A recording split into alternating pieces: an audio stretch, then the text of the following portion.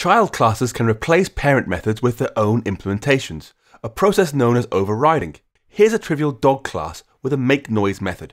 Class dog, func, make noise, print, woof, and func, and class.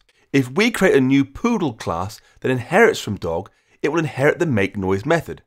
So we can say class poodle inherits from dog, then let poppy equals poodle, poppy.makeNoise.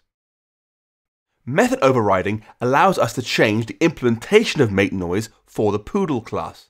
Swift requires us to use override func rather than just func when overriding a method. It stops you from overriding a method by accident. And you'll get an error if you try to override something that doesn't exist on a parent class. Override func make noise, print yip, end the func. Now with that change, poppy.makeNoise will print yip rather than woof.